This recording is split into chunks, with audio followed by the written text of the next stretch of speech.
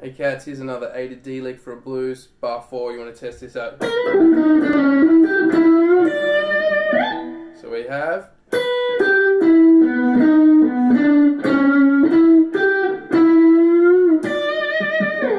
Have fun with that one.